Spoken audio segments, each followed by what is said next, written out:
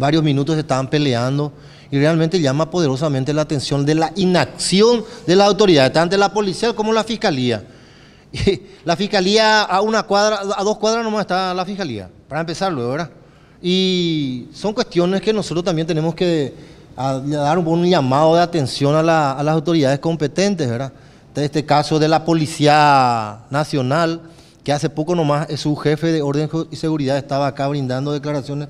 Y justamente al, requerimiento en específico de ese tema que estoy tocando, él manifestaba que cada vez que ellos se presentaban desaparecían las personas, los jóvenes, de enfrente de la Ande. Y cuando ellos ya no estaban, volvían. O sea que más o menos gato al ratón, más o menos estaban esperando los, los muchachos ahí, desaparecen la patrullera y venían otra vez, más o menos así lo que nos estaban diciendo. Entonces, presidente, una nota eh, de eh, a, la, institución, está, en el caso de la Policía Nacional y también de la Fiscalía sobre ese punto y que tome cartas en el asunto, presidente.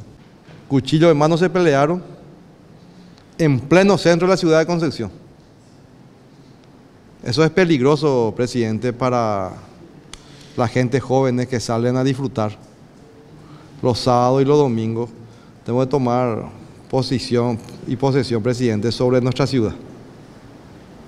Es cierto, algunas veces ya de flojo, las autoridades somos flojos. Porque se está yendo de la mano, presidente, esto, de las autoridades policiales. No aguanta, güey. Es muy grande la ciudad y tiene pocos personales.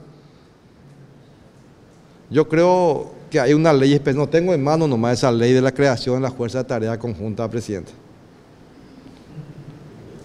Yo creo que en el norte ellos tienen potestad sobre la seguridad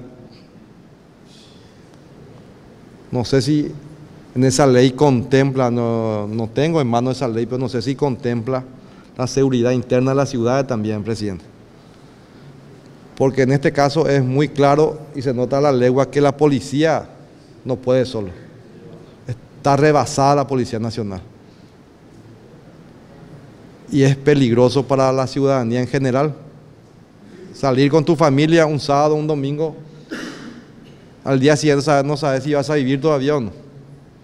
Ese es un hecho que sucedió ahí. Yo creo que hay cámaras de circuito cerrado en esa zona.